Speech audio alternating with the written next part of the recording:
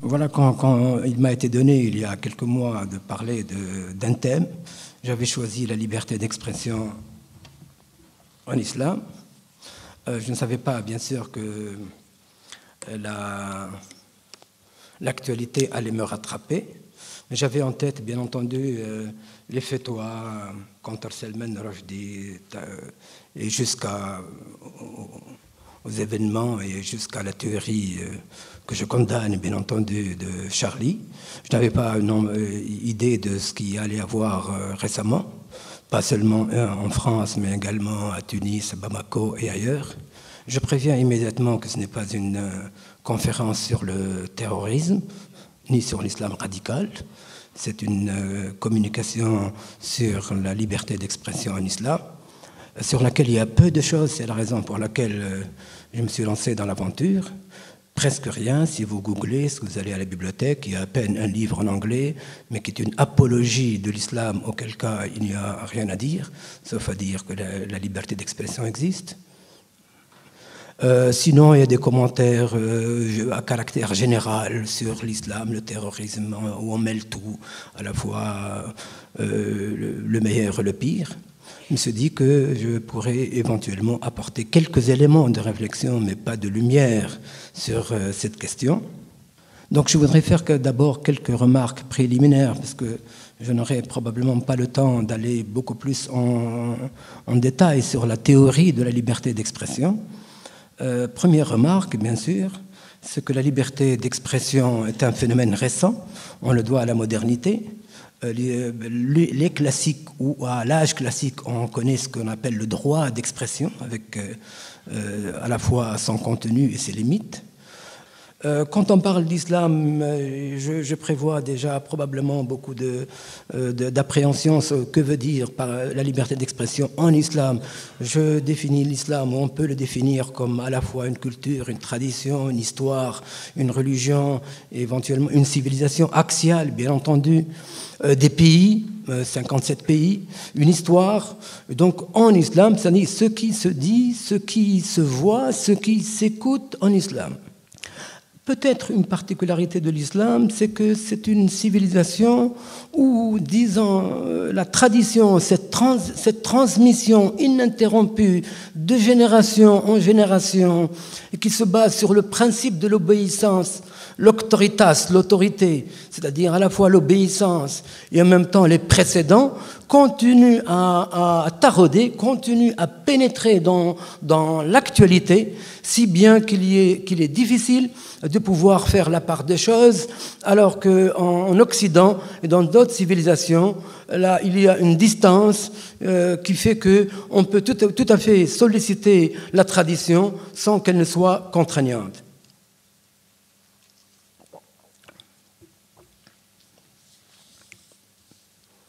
Je vais organiser ma... Alors, je dis bien, encore une fois, c'est une conférence sur la liberté d'expression, donc je vais me limiter à ce thème.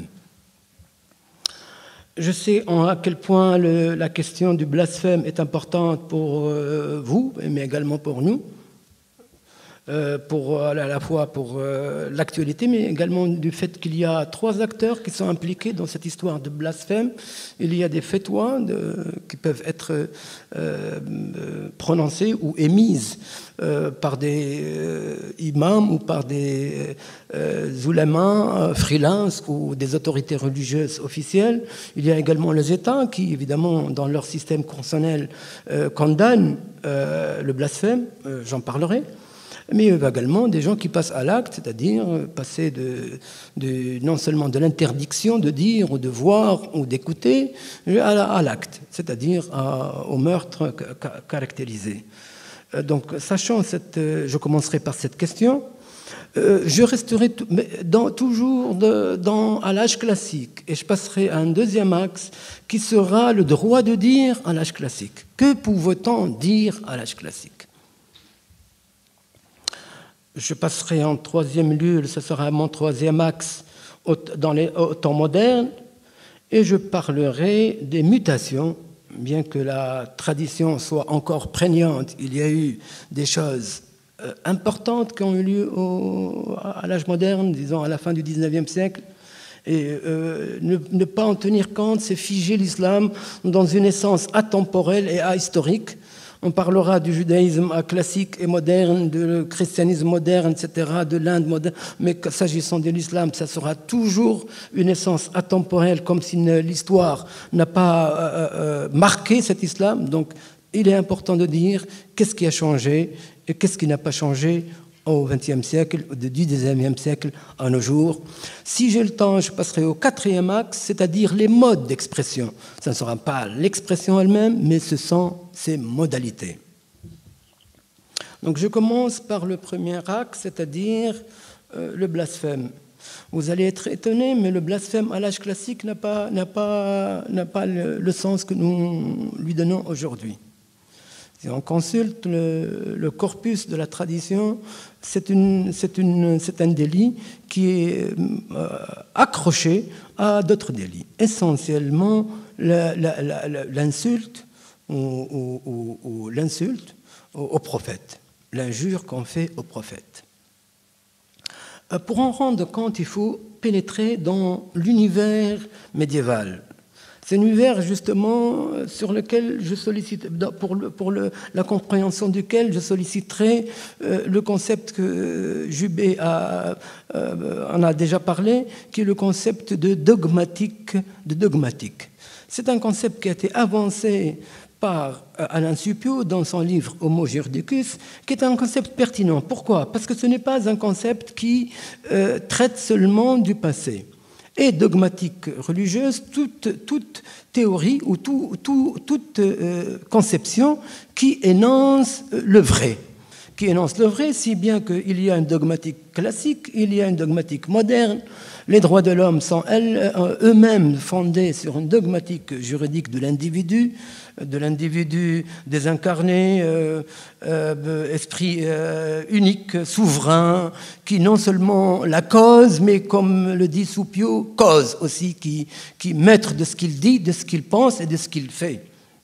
C'est le cas du droit islamique. Je n'ai pas le, temps matériel pour expliquer ni sa formation, ni, mais seulement vous donner des indications utiles pour comprendre cette histoire de l'insulte au prophète des éléments qui vous permettent de dire après si l'islam condamne ou ne condamne pas, dans quels termes, jusqu'où et, qui, et qui a dit quoi.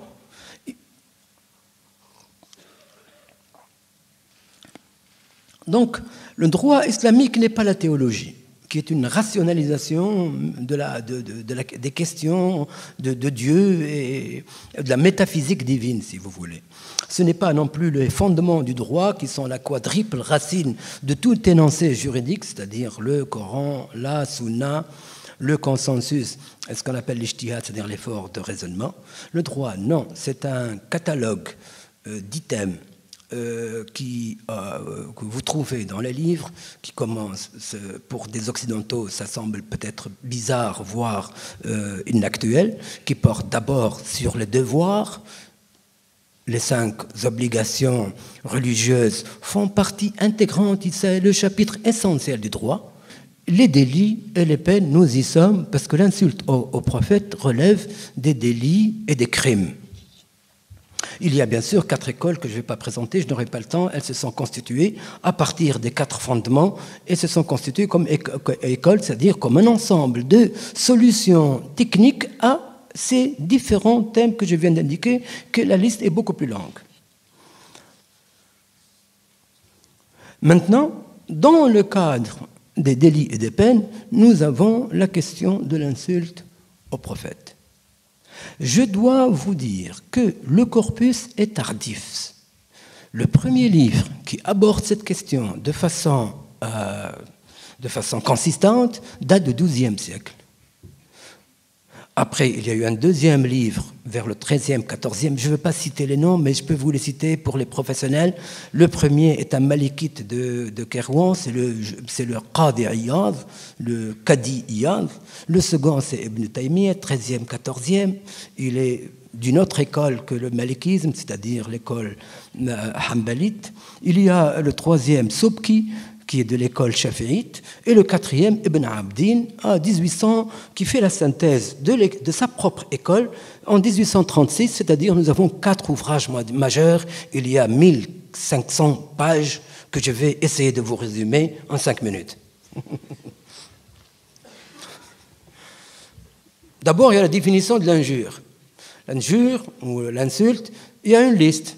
Il a pas un, ce n'est pas un concept, c'est une liste de, euh, l'atteinte à sa personne, à son ascendance, sa religion, toute marque de mépris, rabaissement, manque de respect, médisance, désaveu, douter de sa mission, euh, railler ses défauts physiques, euh, dire est, que ses vêtements sont crasses, qu'il est, qu'il est, qu'il est chamelier, berger, ouvertement ou par allusion qu'on y croit ou qu'on plaisante.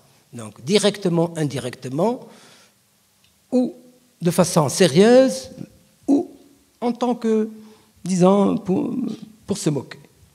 Euh, nul n'est censé ignorer la loi. Si vous êtes en état d'ébriété, ou si vous dites euh, je suis par esprit de contrariété, ça ne...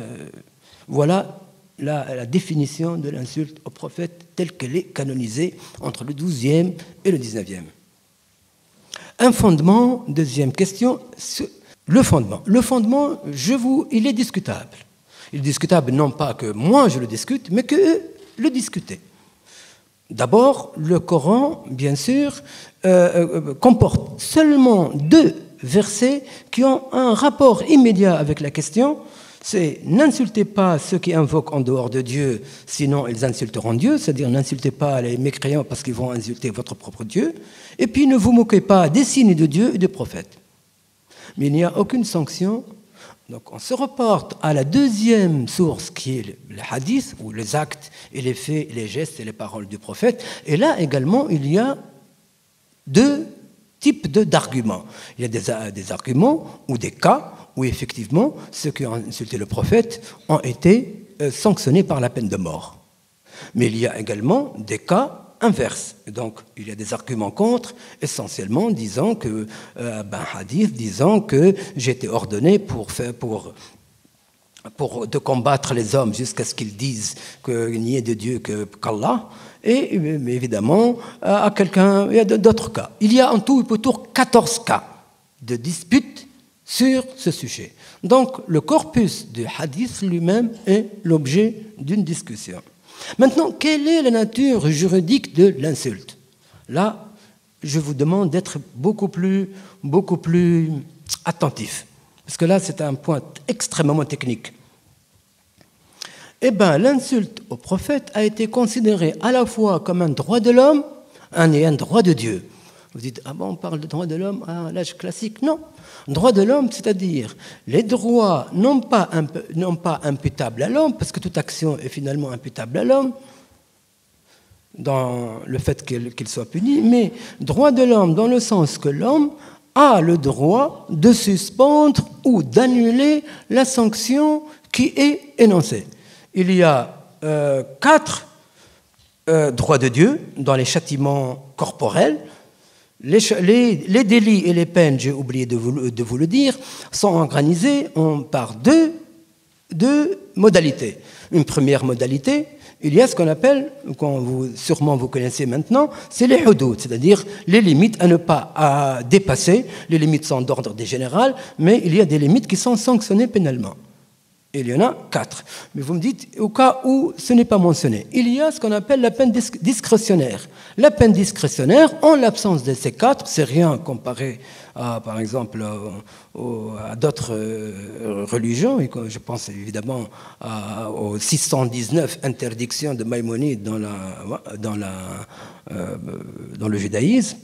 Euh, six, quatre des droits de Dieu et deux des droits de l'homme.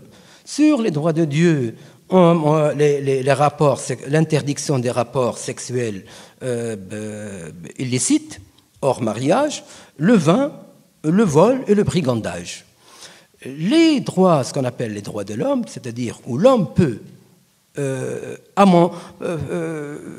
intervenir, ce sont la fausse accusation d'adultère, où il est dit donc dans le Coran euh, si évidemment quelqu'un accuse euh, si une, son épouse, les femmes chastes, plus exactement pas son épouse. Bon, je ne vais pas définir ce que c'est que les femmes chastes, ça va, être, ça va me compliquer la, tâche. Mais disons, s'il n'a pas quatre témoins, à l'exception de ceux, de ceux qui se repentent. Donc, on permet à l'homme de pouvoir de se, de se repentir, et auquel cas on a appelé ça un droit de Dieu, un droit de l'homme, puisque l'homme a encore, l'homme, l'être humain, a le droit d'intervenir.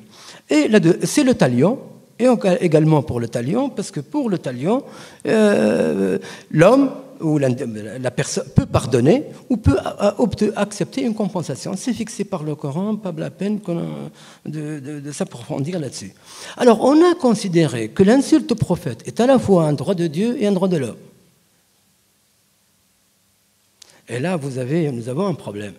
Si c'est un droit de l'homme, un droit de Dieu, la sanction doit être appliquée, mais laquelle? On va en discuter. Si c'est un droit de l'homme, Mohammed, le prophète de l'islam, ayant euh, pardonné, ayant sanctionné, le, sujet est clos.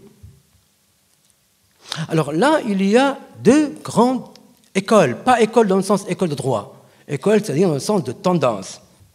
La peine, elle est rattachée à celui qui la commet. Qui la commet? Il y a trois figures importantes à l'âge médiéval l'impie, le tributaire, c'est-à-dire le non-musulman qui paye un tribut, un impôt de capitation contre le, droit d'exercer sa propre religion, et bien sûr le musulman. Donc on va rattacher la peine à leur statut respectif. Il y a ceux qui disent non, l'insulte est autonome, sans, la sanction, elle est en soi, elle doit être celle qui convient, c'est-à-dire en l'espèce la peine de mort. Donc vous avez là deux écoles qui s'affrontent et à l'intérieur des écoles, je veux dire, deux tendances à l'intérieur des, des, trois écoles. Je ne vais, pas, je, je vais pas être beaucoup plus long sur cette question, sauf donner trois, euh, euh, sauf peut-être un peu. Euh, il y a une un autre enjeu, ça c'est l'enjeu droit de l'homme, droit de Dieu. Un deuxième enjeu qui est celui de la seconde chance. En islam, que ce soit l'impie ou le tributaire ou le musulman, qui a bien sûr insulté ou a fauté, a le droit à une, seconde chance. Bon, vous me direz, ce n'est pas vraiment une seconde chance quand l'impie est obligé de, de, de se convertir, mais ça, c'est sa deuxième chance. Pour le tributaire, il revient soit à sa propre condition initiale, soit il se convertit. Et pour le musulman qui a apostasié en insultant le prophète, qui est une circonstance aggravante, revient à son islam d'origine. Mais bien sûr, les intransigeants disent non, tant que c'est une, tant que c'est une peine détachée du statut subjectif de la personne, qu'il revienne ou qu'il ne revienne pas, qu'il s'islamise ou pas, qu'il se convertit ou pas, nous ne l'appliquons. Voilà le débat à l'âge médiéval.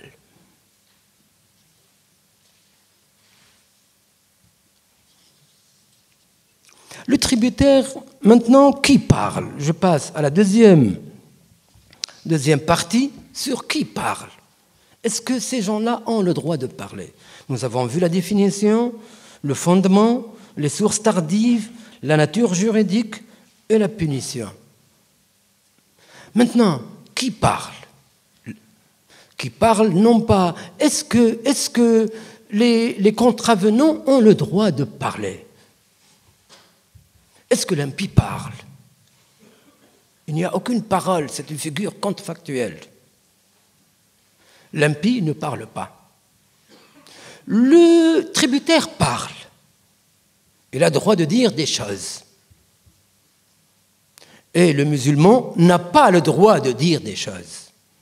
Et nous avons des, pièces où l'impie parle extramuros. Nous avons une grande lettre de Léon III à Omar II, roi des Sarrasins au 8e siècle.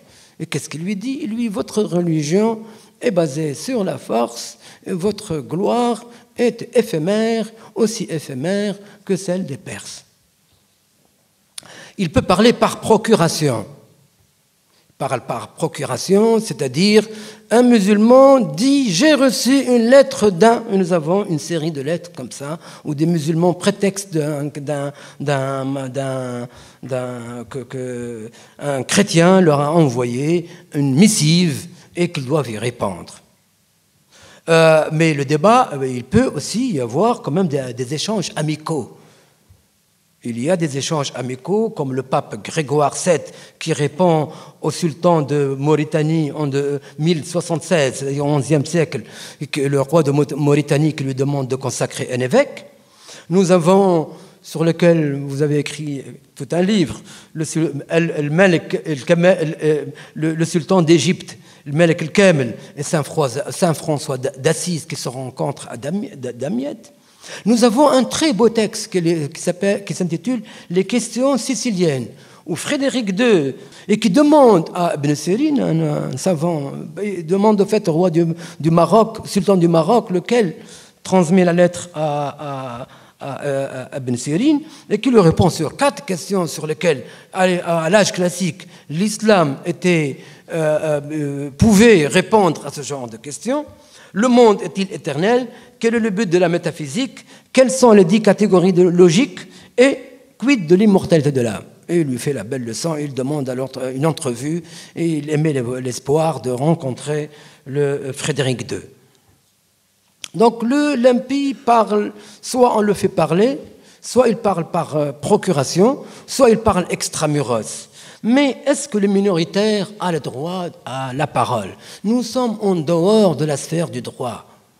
Nous sommes dans la sphère de la civilité.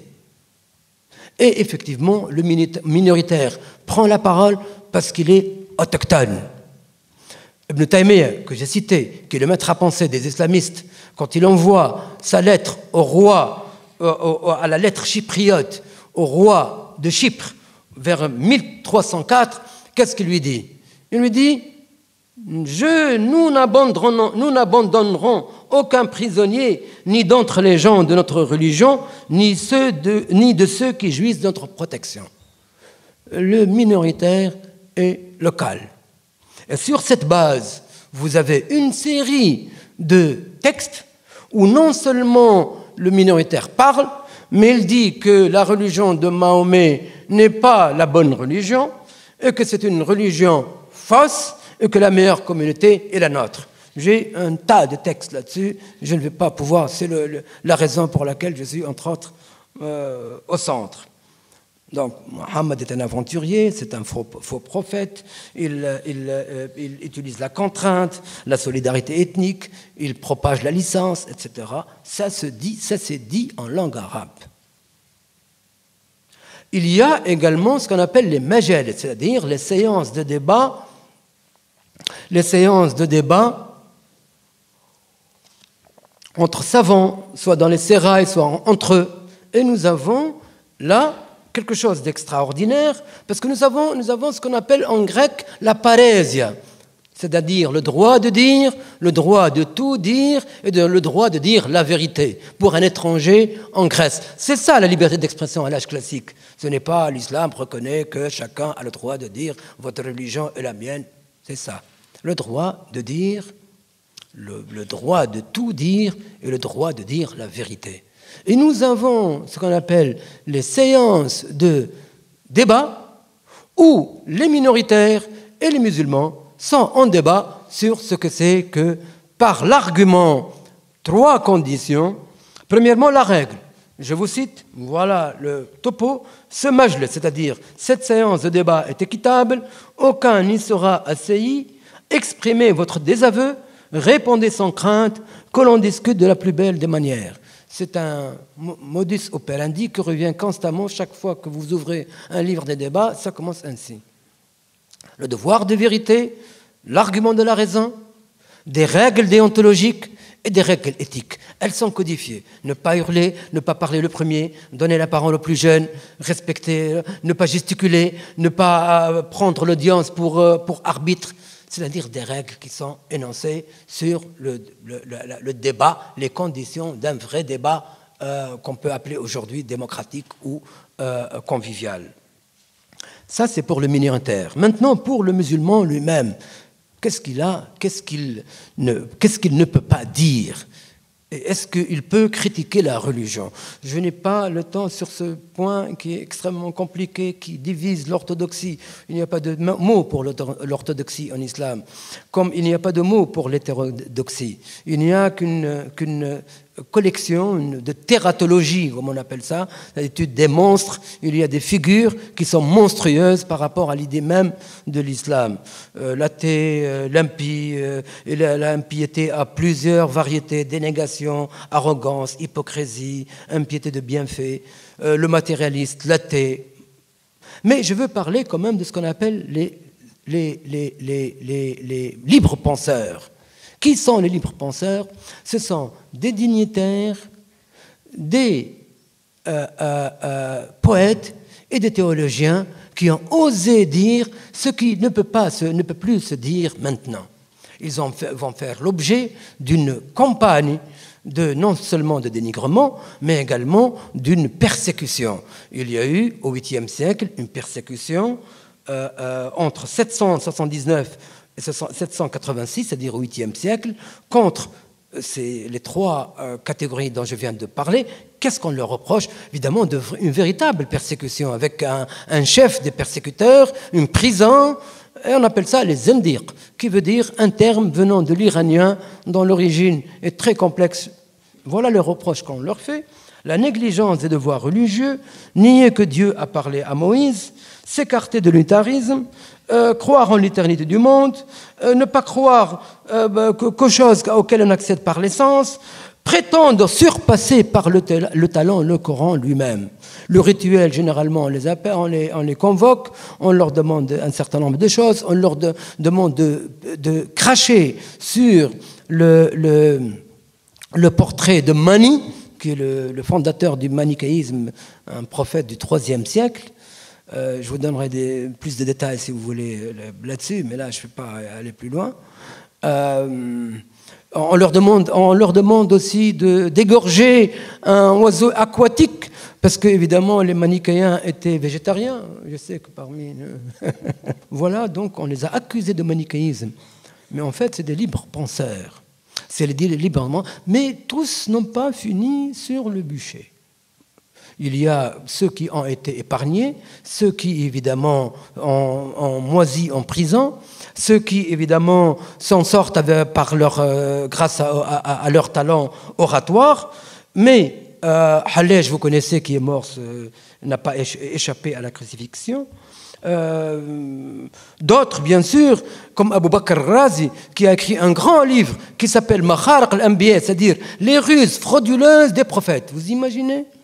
Je vous lis par, par exemple euh, dans Kalila et Demna, vous connaissez cette histoire de, deux chacals qui évidemment rapportent des anecdotes sur l'art de, gouvernement et euh, ayant pour motif des fables animalières. Eh bien évidemment, le roi euh, envoie son médecin Borzoé, euh, qui s'écrit en français Borzoé, et dit, voilà ce qu'il dit dans, en arabe, dans le texte, que les religions et les doctrines religieuses étaient, après enquête Borzawai, à vous, les religions et les doctrines religieuses étaient nombreuses. Certains peuples les avaient reçues en héritage, d'autres les cachaient avec soin. D'autres encore s'en servaient pour amasser les biens de ce monde. Il m'a paru clairement qu'en se conduisant ainsi, ils obéissaient à leur passion. Eh ben, le livre a été mis en vers et c'est un grand classique. Que faisait un libre penseur ou quelqu'un qui avait, qui évidemment, qui, qui, qui devait extérieurement montrer qu'il est musulman et qui intérieurement ne l'était pas? C'était ça le grand enjeu à l'âge médiéval pour les musulmans extérieurement musulman, intérieurement autre chose. Il faisait ce qu'on appelle la dissimulation. Il y a un verset coranique qui reconnaît que si vous prenez les musulmans, les musulmans doivent prendre les, musulmans pour alliés, mais s'ils sont menacés, je l'ai, ici devant mes yeux, à moins que vous ne cherchiez à vous protéger d'eux, c'est-à-dire les non-croyants, les infidèles. Et là-bas, ce que euh, interdiction est faite de, concourir à sa propre mort, qui est la base d'ailleurs le verset, qui est le même, qui euh, sert pour condamner le suicide en islam, qui est interdit dans le texte, pas par l'interprétation. Maïmonide lui-même, dans Épître sur la persécution. Je le lis. Dans cette persécution où nous nous trouvons, nous ne simulons pas que nous servons une idole, mais nous faisons seulement semblant de croire à ce qu'ils nous disent. Je cite Maïmonide. On a, comparé aux persécutions que les Juifs ont connues à l'âge médiéval, il dit on n'a jamais vu une persécution aussi merveilleuse. Voilà pour les deux parties le droit de dire qui dit quoi à l'âge médiéval. Les dernières exécutions, remontent au XIXe siècle. L'ascendance a été pratiquement tombée, pratiquement tombée en désuétude. Et euh, je vous voyez, je n'ai pas parlé des faits. J'ai parlé comment les musulmans étaient amis avec les juifs, etc., vivaient ensemble. Dire, parler, voir, voilà ce que c'est que la liberté d'expression. Les conditions sociologiques importent peu. Par exemple, pour les condamnés, nous savons que sociologiquement, et vous, le savez, gens talonnent, que le statut de Dhemmi n'était pas uniforme, qu'il y avait une variété de, cas, et qu'il y avait des persécutions périodiques, mais un moment d'époche où on pouvait vivre très librement. Et ça, c'est la sociologie, ça, c'est l'histoire, c'est pas la liberté d'expression.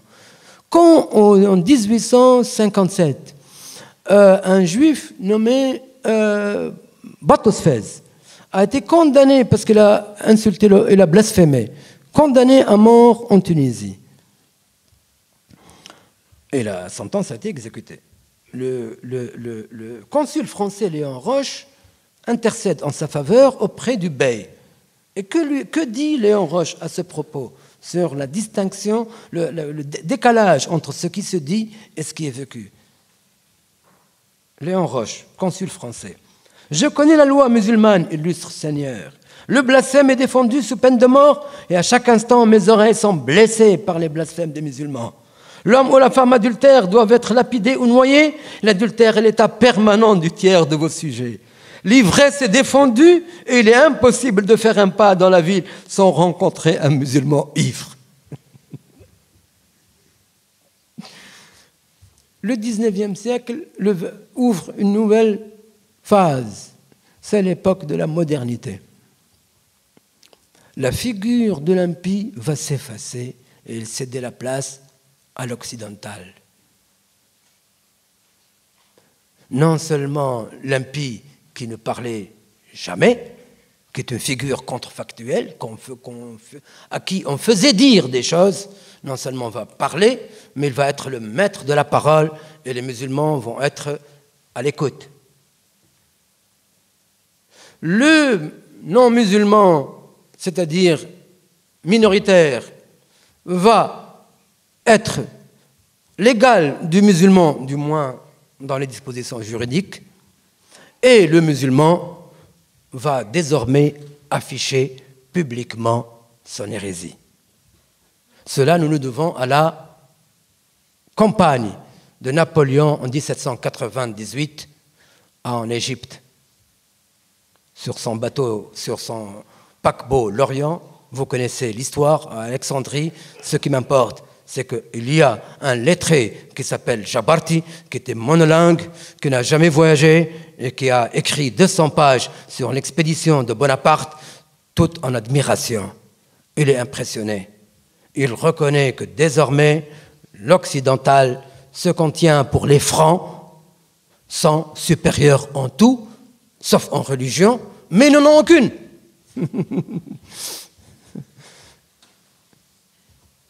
Et c'est un bouleversement.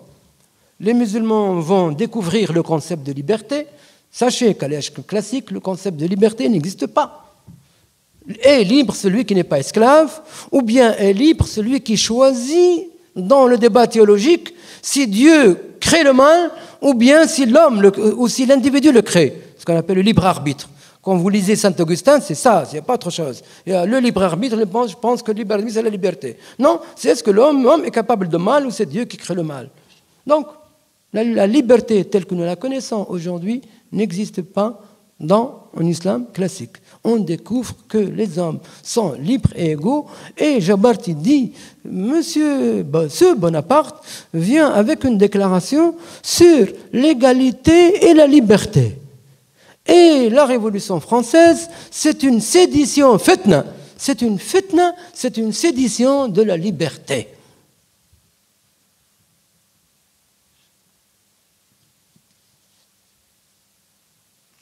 On en a deux conséquences importantes sur le plan constitutionnel. Sur le plan constitutionnel, comme je viens de l'indiquer, vous allez avoir des proclamations des édits sur le modèle de l'édit de Nantes, oui, on peut le dire, euh, où, désormais la parfaite sécurité est reconnue à tous les sujets. Euh, euh, le mode régulier de prélever l'impôt, c'est-à-dire que les non-musulmans ne, ne payent plus l'impôt de capitation, qui est aboli d'ailleurs, euh, euh, le service militaire obligatoire universel, alors que les juifs et les chrétiens ne le faisaient pas, parce qu'ils ne pouvaient pas faire partie de l'armée de, de l'islam. Égalité des sujets, indépendamment de leur classe, origine, religion. Il y a trois édits importants 1839 en Turquie, 1858 en Turquie, 1857 en Tunisie après trois constitutions importantes, la première en Tunisie 1861, la deuxième en Turquie 1876, et la troisième en Iran 1907. Le pouvoir politique lui-même, désormais, tend de devenir un pouvoir obéissant au droit, à des règles. Et il y a même des, parlements et des élections étaient prévues. Elles ont eu lieu d'ailleurs en Turquie et en Iran, mais pas en Tunisie. Euh, à l'époque, pour des raisons que je ne vais pas indiquer, mais voilà une première, euh, une première grande... Euh, le musulman, maintenant, au niveau des idées politiques, il y a un grand livre qui s'appelle L'or de Paris, où on découvre donc là, où, un, jeune précepteur qui a fait partie de la première euh, délégation d'étudiants venus s'instruire à Paris en 1826 rentre en Égypte et écrit un grand livre qui est fondamental dans l'histoire de la pensée arabo-islamique, même turque, parce qu'il n'y a pas eu un texte aussi aussi puissant. Et il commente l'article 8 sur la liberté d'expression, puisque c'est le sujet. Il dit qu'elle conforte tout un chacun pour, pour qu'il exprime son opinion et expose au public ce qui anime son fort intérieur, ses exploits et ses, souffrances dans les journaux et, et gazettes qui contiennent également un grand nombre de mensonges. Et maintenant, maintenant euh, l'hérétique parle. Et maintenant, il s'affiche. Vous avez un grand poète qui s'appelle Zahawi, qui avoue publiquement. Avant, à l'âge médiéval, l'athéisme était une accusation. Les indiques étaient accusés. Même quand euh, quelqu'un écrit quelque chose comme Makharaq al-Anbiya, c'est son opinion, il ne dit pas je ne suis pas musulman. Et d'ailleurs, parfois, on fait parler les brahmanes ou d'autres euh, confessions pour dire ce qu'on a envie, parce qu'effectivement, il faut être extérieurement musulman et intérieurement autre chose. Là, on s'affiche. Il y a un livre d'un Ismail Adham qui, qui s'est suicidé d'ailleurs après, qui s'intitule Pourquoi je suis athée? en 1936. Voilà le premier livre où quelqu'un affiche son athéisme dans l'histoire de l'islam et qui ne soit pas une accusation. Avant, c'était une accusation, mais les, athées étaient rares. Bon, on les accuse. X a été accusé, X. Vous trouvez une liste interminable d'accusations à des gens qui n'ont jamais prétendu, non, qui n'ont jamais dit. Maintenant, la femme aussi parle. Est-ce qu'elle parlait à l'âge médiéval? Je ne vais pas parler du sujet de la femme en tant que euh, bah, bah, corps, comment elle est auscultée par le fiqh, sans, sans, aucune retenue. Mais elle parlait, elle était source de, de hadith, elle est savante, oui. une liste est fournie par Ibn Sa'ad. Elle raconte des histoires, Shahrazad, elle sublime Dieu en soufi, elle compose de la poésie amoureuse, nous avons une liste également, elle tient salon, la première étant euh, Soukaina, qui est euh, du, côté de, Ali, le gendre de Mohammed. Mais elle ne disait pas qu'elle voulait l'égalité. Et maintenant, elle réclame l'égalité. Donc la femme n'est plus seulement un sujet qui parle euh, euh, selon les canons traditionnels, elle parle pour dire j'ai des droits égaux. L'hérétique sort de sa réserve. La femme. Et ce sont là les mutations importantes à l'âge moderne et qui reposent la question de la liberté sur de nouvelles bases. Seulement, seulement la, presse également née à cette période, 19e siècle, avec aussi bien des limites d'ordre administratif, comme l'autorisation préalable ou le dépôt, mais également des limites qui concernent euh, l'ordre public et même la religion. Nous y sommes. La, presse est née avec la censure.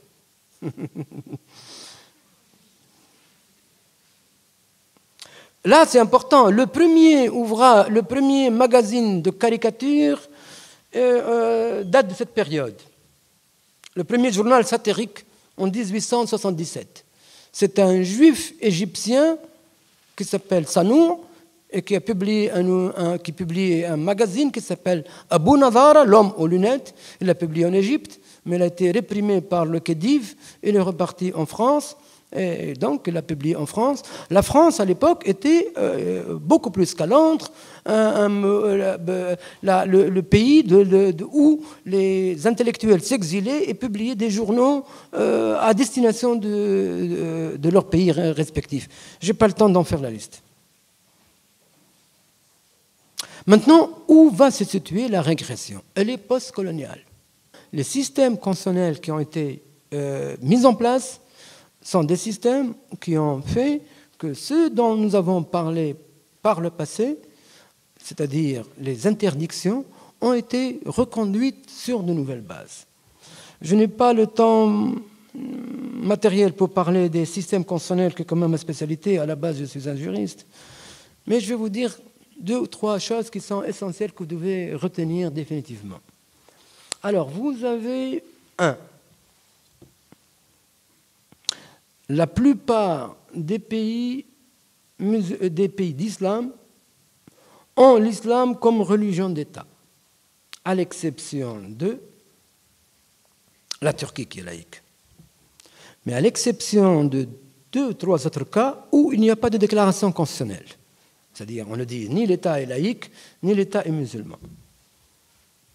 En l'espèce, ce sont le Liban, la Syrie, ça va vous étonner. Les îles Comores, mais c'est. Bon, euh, les îles Comores. Le Sénégal, j'ai vérifié avant que je ne vienne, parce que Babacar va me demander après pourquoi vous n'avez pas parlé du Sénégal. Et puis après, vous avez un deuxième niveau.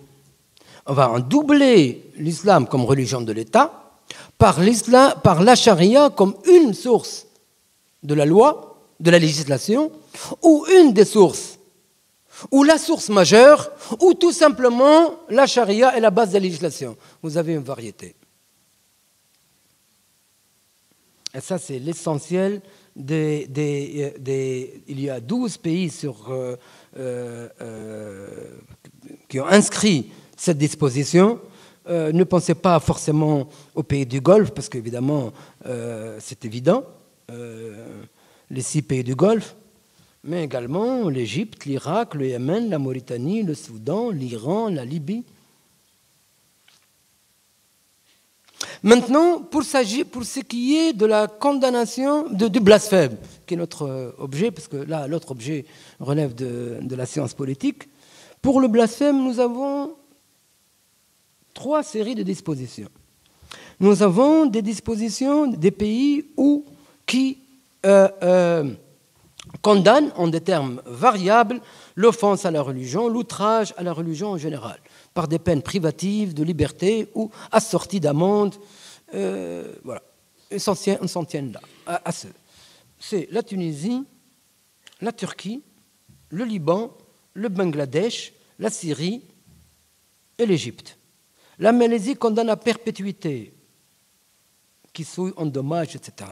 Là, ce sont des pays qui appartiennent quand même à des catégories comme l'Australie, le Brésil, le Canada, j'ai vérifié, le Danemark, la Finlande, l'Allemagne, ça vous étonne, mais c'est comme ça, la Grèce, l'Inde, l'Irlande, Israël, la Suisse, la Pologne, l'Espagne, la Russie ont des dispositions similaires.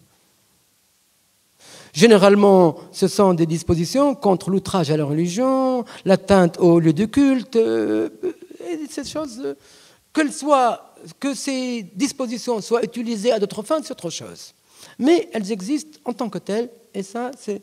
Maintenant, il y a un deuxième niveau. Deuxième niveau, ceux qui condamnent l'injure faite au prophète. 15. Les six pays du Golfe, plus la Jordanie, oui, l'Algérie, la Libye, le Pakistan, l'Iran, trois pays, trois pays mentionne l'application, non seulement l'application de la la sharia, mais la peine capitale. La Mauritanie, le Soudan et le Yémen. Donc, la peine de mort dont on a parlé par le passé revient par la bande, non pas contre l'impie, c'est fini, ni contre le non-musulman. Maintenant, la seule, le seul, euh, euh, cible ou la seule, euh, le seul contravenant, et le musulman. Donc l'occidental devient l'étranger, il n'est pas considéré, et le non-musulman n'est pas, on ne lui applique pas les dispositions de la charia, en tout cas, ne sont pas, ne mentionnés en tant que tels. Vous avez maintenant la punition de l'apostasie. Là, vous avez également les mêmes, avec, euh, ça va vous étonner, mais l'Iran ne condamne pas l'apostasie. Parce que tout simplement, elle se considère probablement qu'elle peut être elle-même considérée comme, euh, comme impliquée. Mais évidemment, là aussi, vous avez la, mort de l'apostat et de l'hérétique zendir, en moins qu'il ne se répande en Mauritanie, au Soudan, et au Yémen, et bien sûr dans les pays du Golfe, où il est mentionné les peines hudud, c'est-à-dire les peines, euh, euh, les mythes ou les peines euh, oui, les peines limites sont applicables cas, dans les cas suivants. Et il mentionne les six cas dont je, viens vous, dont je vous ai parlé, plus l'apostasie. Donc, alors qu'à l'âge médiéval, l'apostasie était une question quand même débattue. C'est une vraie régression, seulement c'est l'État. Mais quand l'État est défaillant, et voilà, j'en viens à un point important, euh, en droit islamique, l'État n'est que une des parties qui applique la charia. La charia est indépendante de l'État. Donc si l'État ne l'applique pas, tout un chacun peut se considérer comme euh, euh, à même de l'appliquer selon le principe de la commanderie du bien et de l'interdiction du mal. Et là, c'est une des spécificités de l'islam qu'on ne trouve pas dans d'autres systèmes où, évidemment, vous avez une église, vous avez un personnel professionnel qui gère la religion. Et là, nous sommes d'ailleurs dans la logique que j'ai indiquée au début, en début. Comment se fait-il que des personnes s'autorisent par eux-mêmes de passer à, l'acte sans, être, euh, sans avoir eu aucune euh, euh, autorisation de quelque nature qu'elle soit? Eh bien, parce qu'ils se considèrent qu'ils doivent empêcher le mal par la bouche, par la main, par la main, par la bouche, sinon par le cœur. Et donc, ils prennent la main à la lettre. Maintenant, est-ce qu'il existe une théorie de la liberté en islam? Il y a deux thèses. Il y a la thèse de la Là, ce n'est pas un point qui fait partie de ma démonstration, parce que je sais que beaucoup s'inquiètent de, cette euh, question. Il y a deux thèses. Seulement, je vous donne les mécanismes, les clés par lesquelles vous, devez comprendre, vous pouvez comprendre il y a la thèse qui dit effectivement la liberté existe en islam sur la base de trois principes. D'abord un principe général, nulle contrainte en matière de religion, que celui veut croit, croit, celui qui mécroit veut mécroit. Euh, Mohammed, deuxième argument, Mohammed est un messager, un transmetteur, il n'a pas à, forcer les gens. et là, bien sûr, avec des versets, ce ne sont pas des idées. Ce sont des idées adossées à des versets, des principes adossés à des versets. Un modus operandi appelle les hommes dans le, chemin de ton Seigneur par la sagesse une belle exhortation et discute avec eux de la, meilleure des manières. Troisième argument, la croyance est, de l'entière responsabilité de l'homme. Donc un argument général, un argument sur Mohammed et un argument sur la, la responsabilité individuelle. Oui, mais ceux qui sont contre, qu'est-ce qu'ils disent? Ils disent oui, c'est vrai, ces versets existent. Mais ils ont été abolis, ils ont été abrogés par le verset de l'épée qui figure dans la sourate numéro 9, verset 5, où il est dit Tuez les associateurs, où que vous le trouviez, capturez-les, assiégez-les, guettez-les. Et il est dans la tradition savante, exégétique, si vous vous y tenez, ce verset est considéré comme ayant aboli, abrogé. Donc, mais les libertaires ou les modernistes ou les, disent on ne s'estime pas tenu, on n'est pas tenu par la chronologie coranique. Nous, ce qui nous intéresse, c'est que le message est universel, et si on va tenir à chaque verset dans quelles circonstances, et donc on va, on va localiser, on va, on va temporaliser les versets, et donc nous ne sommes pas tenus par cet argument. Et c'est là où, c'est, là où nous en sommes. Ce n'est pas que les uns euh, comme on dit, ont des versets de l'époque, on les voit dans la télévision. Ah, voilà les versets qui sont dans le Coran. Non, c'est pas ça. C'est un débat. Oui, ils te disent. Les vrais, ceux qui connaissent l'islam, disent oui, c'est vrai.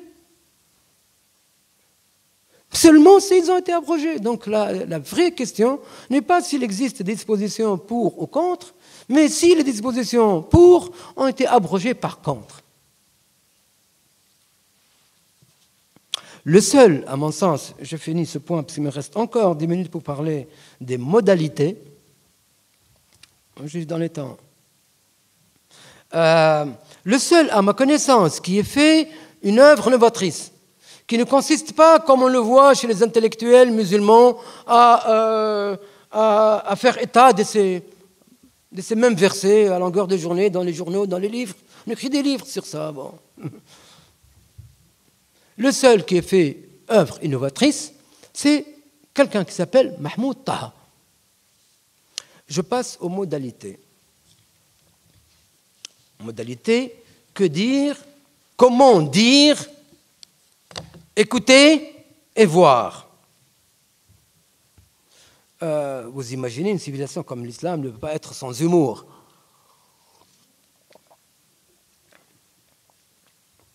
ne peut pas être sans humour, ne peut pas être euh, euh, sans détente, sans genre, qui évidemment correspond à, non seulement à l'esprit de l'époque, à la civilité de l'époque, mais qui est également universel. il y a plusieurs, plusieurs registres, ou plusieurs corpus, ou plusieurs corpus, effectivement, et en même temps registres. Il y a ce qu'on appelle en poésie euh, euh, la satire, on appelle en arabe hijab.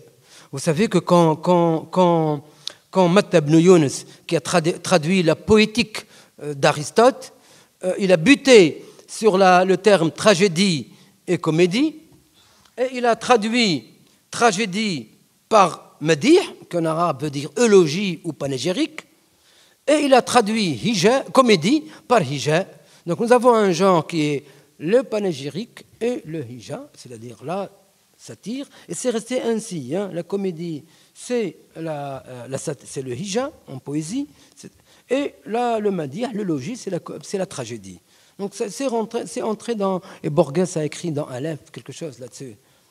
Euh, euh, nous avons un grand, un grand écrivain qui a été évidemment. Il y a aussi ce qu'on appelle la, littérature des mérites et des ignominies on est capable de, dire qui ont du, mérite dans leur ascendance et quels sont leurs défauts.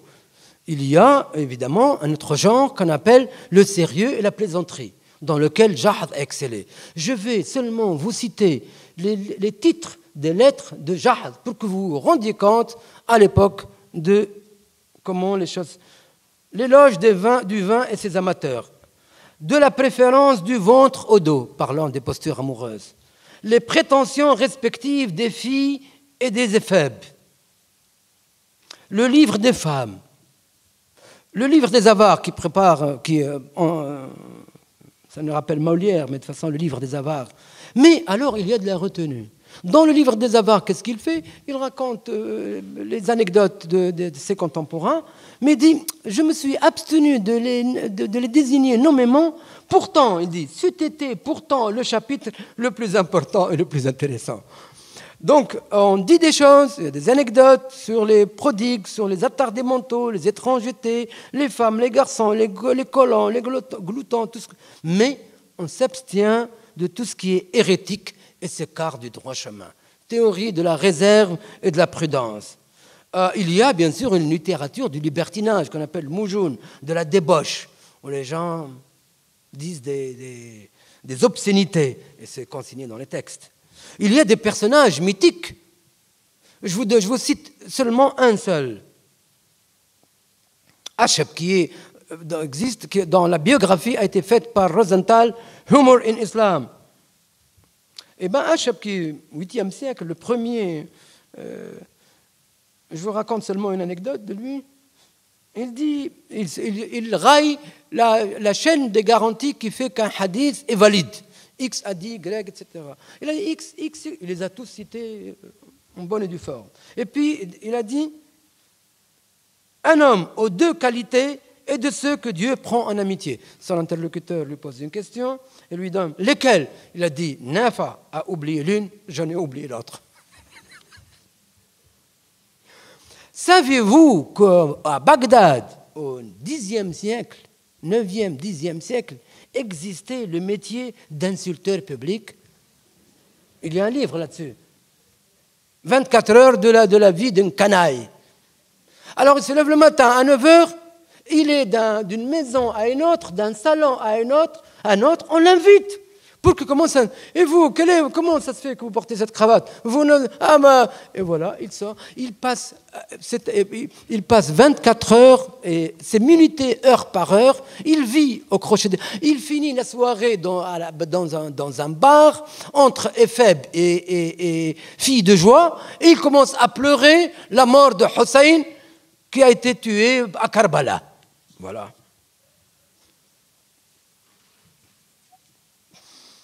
Est-ce que Mohammed riait? Dans la tradition, il rit jusqu'à ce qu'on voit ses molaires. À une vieille, il dit les vieilles n'entrent pas, la vieille n'entre pas au, paradis. Elle se met, elle se met à, pleurer. En guise de consolation, il, rappelle le, verset Nous les avons faites vierges. Il parlait des houris, mais il s'agissait de la de vieille dame. Est-ce que Dieu rit? Oui, Dieu rit.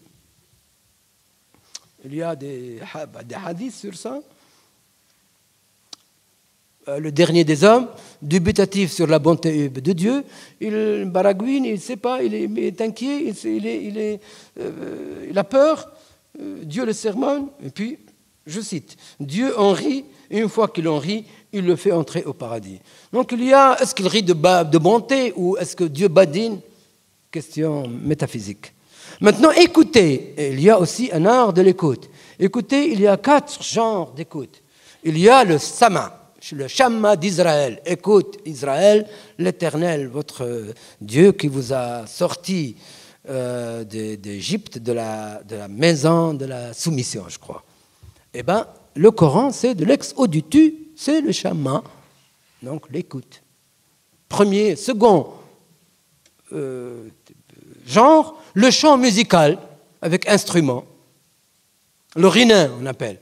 Il y a le musiki, c'est-à-dire la théorie musicale sur laquelle Farabi a écrit le premier, le premier grand livre de la musique. Ça, c'est la théorie grecque de la musique. Eh bien, il y a bien sûr le divertissement qui, pose problème. C'est-à-dire, il y a des livres qui stigmatisent le divertissement, euh, bien sûr en citant des hadiths, et d'autres qui, évidemment, défendent le malahi, avec évidemment même des interdictions sur certains, instruments, comme la lyre, la corde, et on considère que l'écoute interdite, c'est celle qui pousse au vice, euh, désapprouvée, celle qui devient un mode de vie, recommandée euh, quand on écoute une belle voix, euh, quand elle anoblit l'âme, et essentiellement quand elle finit dans l'extase, comme les soufis. Le soufi, euh, nous le savons, ils en arrivent même à danser. Ça, c'est les, arts de l'écoute qui sont au nombre de quatre. Maintenant, voir, voir, vous connaissez le problème de l'image de en islam. Il y a un corpus qui est contredit par la pratique. Euh, euh, euh, je n'ai pas le temps, je pense probablement que vous connaissez cette histoire, on vous en a beaucoup parlé, que le, le Coran n'est pas aussi sévère, n'est pas aussi exigeant et aussi explicite sur l'interdiction de l'image que la, Torah, qualifie seulement d'abomination les pierres dressées, mais évidemment, euh, le, corpus de hadith fait que l'idée générale est que tout, être qui a une âme, y compris les animaux, n'est-ce pas, ou les volatiles, ne peuvent pas être figurés, ne peuvent pas être représentés, euh, contrairement aux montagnes, aux, choses inanimées.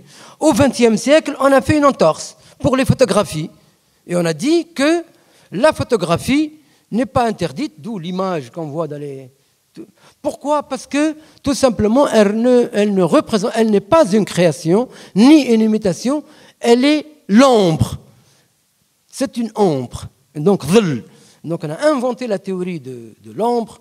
Ça, c'est le corpus du droit, mais dans les faits, vous savez que tout a été figuré, euh, les animaux, la végétation, les êtres humains, et même Mohammed dans les miniatures persanes, et vous le savez ça parfaitement.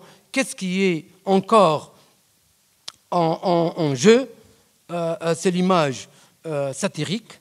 Bien sûr, le portrait, le film, la photographie, les expositions, les monuments, tout ça au XIXe siècle entre l'islam et l'islam s'est réconcilié avec l'image.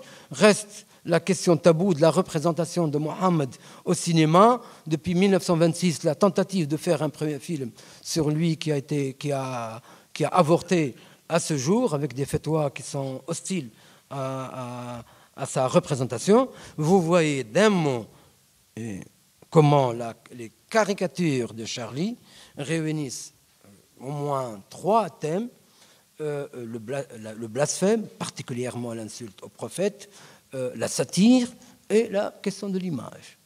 Ceux qui sont comme moi, et peut-être comme beaucoup d'entre vous, sinon la majorité, sont pour la liberté de critique, pensent que cela peut se faire.